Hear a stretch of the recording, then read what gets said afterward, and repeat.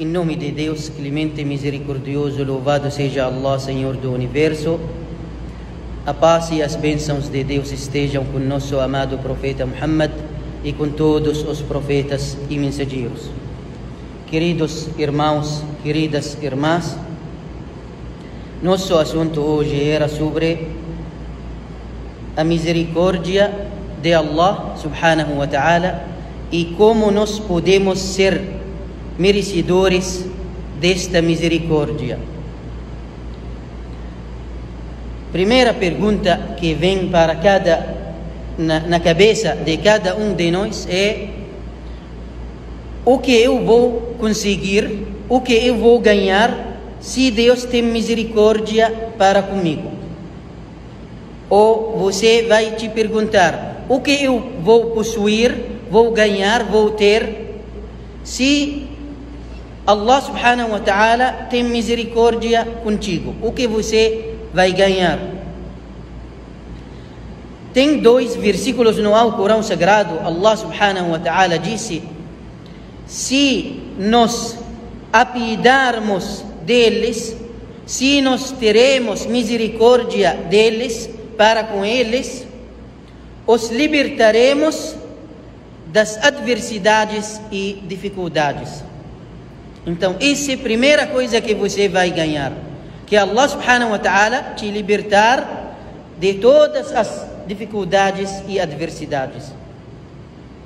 Em outro versículo, Allah subhanahu wa ta'ala disse sobre o dia do juízo final, que os anjos, quando suplicarão para os crentes muçulmanos verdadeiros, Allah subhanahu wa ta'ala disse e preserva-os das maldades.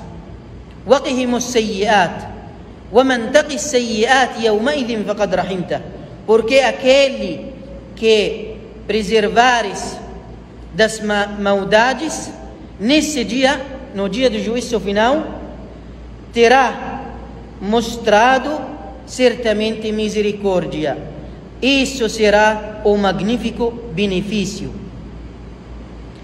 ومن تقي السيئات يومئذ فقد رحمته quem Deus protegerá a ele do fogo infernal esse é quem quem ganhar ou quem possuir a misericórdia de Allah subhanahu wa ta'ala então se Deus tem misericórdia para contigo ele te guiará ele vai abençoar seu sustento ele vai aumentar seu conhecimento, porque ele tem misericórdia para com você.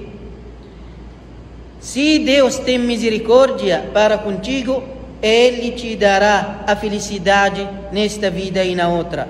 Ele estará sempre contigo, protegerá você das preocupações e das tristezas nesta vida e na outra. Se Deus tem misericórdia para contigo, Ele lhe apontará uma saída, como Deus disse no Alcorão Sagrado. Uma saída, Allah subhanahu wa ta'ala te apontará uma saída de fracasso ao sucesso, da ilusão para orientação te apontará uma saída do mal ao bem, da ignorância ao conhecimento, da pobreza à riqueza, da ganância ao contentamento, satisfação, da escuridão para a luz. Allah subhanahu wa ta'ala, se tem misericórdia para com você, Ele te agraciará de onde menos esperar e confortará o teu peito, o seu coração e aliviará o teu fardo, perdoará seu pecado, porque Ele tem misericórdia para com você. Então, seu papel agora é procurar esta misericórdia para que você alcançar, para que você ter você tem que ter, tem que ser merecedor desta misericórdia. Porque Allah subhanahu wa ta'ala não tem misericórdia para aquelas pessoas desviadas, que não estão no caminho dele, que estão longe dele, cometendo todos os pecados, não estão rezando, não estão lendo o Corão. Como você quer que Deus ter misericórdia para com você e você está longe da misericórdia dele? Se nós estudamos ou, ou pesquisamos sobre a palavra misericórdia no Alcorão Sagrado, vamos descobrir as qualidades da misericórdia de Deus, Allah subhanahu wa ta'ala. A quem estuda o Alcorão vai conhecer que Allah subhanahu wa ta'ala é clemente, misericordioso, compassivo em muitos versículos do Alcorão. Porque os, os dois nomes mais frequentemente usados no Alcorão Sagrado são Ar-Rahman e Ar-Rahim. Bismillahirrahmanirrahim. Em nome de Deus clemente e misericordioso. Esses dois nomes de Allah subhanahu wa ta'ala, nós como muçulmanos recitamos esses dois nomes na nossa oração 29 vezes por dia. Pelo menos. Se um muçulmano reza só a oração obrigatória, ele vai mencionar 29 vezes Ar-Rahman Ar-Rahim. Imaginamos se ele reza voluntariamente mais orações. A misericórdia e seus derivados, eh, palavras, derivadas palavras, mencionada no Alcorão mais de 500, 550 vezes. Quase todos os, os capítulos do Alcorão Sagrado começam com Bismillahirrahmanirrahim. Todos, menos um capítulo que é o capítulo do arrependimento.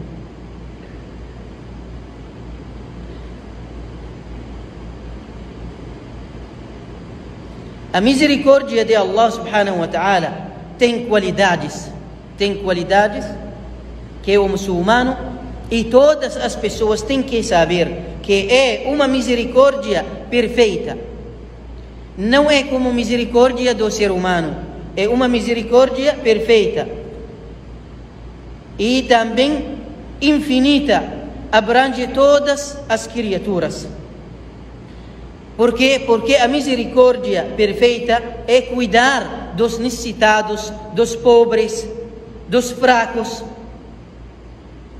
enquanto a misericórdia infinita é, é, abrange os necessitados e não necessitados, abrange os fracos e fortes, abrange os crentes e renegadores da fé. Então a misericórdia de Allah abrange todas as pessoas. Porque Allah é o Senhor do universo. Tem misericórdia com, para com todos, para com todas as pessoas. Allah subhanahu wa ta'ala disse no Alcorão: Faqul rabbukum dhu rahmatin wasi'ah. Diga, a misericórdia de vosso Senhor é infinita que não tem limites, não tem fim, abrange tudo. E Allah subhanahu wa ta'ala disse: وَرَحْمَتِي وَسِعَتْ كُلَّ شَيْءٍ a minha misericórdia abrange todas as criaturas, todas as coisas.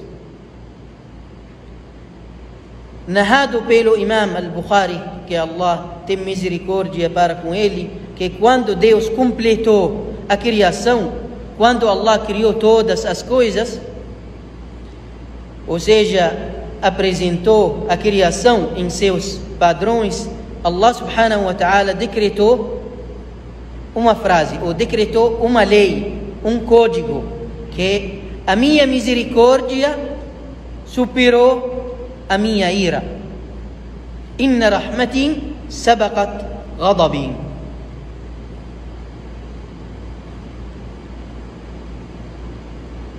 Queridos irmãos e queridas irmãs, também nós sabemos que Allah subhanahu wa ta'ala sempre fala para nós que não podemos desesperar da misericórdia dele. Enquanto nós somos pecadores, temos faltas, temos pecados, erros, mas nunca ou ninguém pode desesperar da misericórdia de Allah. Todos nós temos pecados, temos erros.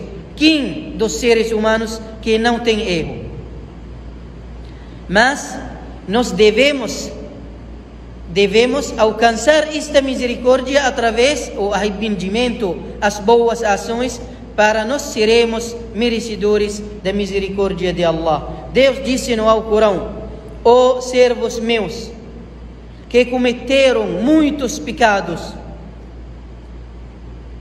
ou que exigiram contra si próprios. Allah disse: não desespereis da misericórdia. لا تقنطوا من رحمة الله não desespereis da misericórdia de Allah إن الله يغفر الذنوب جميعا por certo Deus perdoará todos os pecados mas perdoará todos os pecados para a pessoa que arrepende que volta para Allah pedindo perdão e Allah disse ومن قال ومن يقنط من رحمة ربه إلا الضالون إلا الضالون disse disse-lhes quem desespera da misericórdia do seu Senhor senão os desviados os desviados que desesperam da misericórdia de Allah subhanahu wa ta'ala e nós sabemos que o profeta Muhammad é uma misericórdia de Deus para toda a humanidade porque Allah disse e não te enviamos, ó Muhammad, senão como misericórdia para, todo, para toda a humanidade. Como podemos, no fim, como podemos, uh, como podemos obter a misericórdia de Allah? Como podemos alcançar a misericórdia de Deus? O profeta Muhammad sallallahu alaihi wasallam disse um hadith importante. Ele disse: Ninguém será salvo do fogo do inferno e entrará no paraíso apenas por seus atos. Então ninguém de nós entrará no paraíso e será salvo do fogo infernal, só depende dos seus atos. Eles, os seguidores dele, perguntaram a ele: nem mesmo você, o mensageiro, nem você não entrará no paraíso através dos seus atos. Ele disse: nem mesmo eu. Ele disse: sim, nem eu, a menos que Allah subhanahu wa ta'ala cubra, cubra a mim com a sua misericórdia a menos que Allah subhanahu wa ta'ala me agraciará, me salvará com a sua misericórdia. Mas através dos meus, uh, os meus atos não posso entrar no paraíso. Então ninguém será salvo do fogo do inferno e entrará no paraíso apenas por seus atos, sem anuência de Allah subhanahu wa ta'ala. Mas seja que tem razão tem razões, ou seja, tem causas, tem motivos, meios para obter a misericórdia de Allah subhanahu wa ta'ala, sim, nós devemos saber que a abundância da misericórdia de Allah não virá sem fé forte. Não podemos alcançar a misericórdia de Allah sem fé forte no nosso coração, firme não virá sem adoração sincera, não virá sem ações puras que farão você merecedor da misericórdia de Allah subhanahu wa ta'ala. Então você quer ser merecedor, merecedor da misericórdia de Allah, você tem que ter qualidades para ser merecedor da misericórdia de Deus. Porque Deus não terá misericórdia para aquelas pessoas que estão muito longe dele, muito longe do caminho dele, longe da mesquita, longe do Alcorão, longe da oração, longe da caridade, longe da fé, longe da recordação de Allah subhanahu wa ta'ala. Então você tem que ser mais perto de seu Senhor para que ele será ou estará mais perto de você com a misericórdia dele, proteção, perdão e para que você ter a felicidade neste mundo e no outro. صلوا وسلموا على من امركم الله بالصلاه والسلام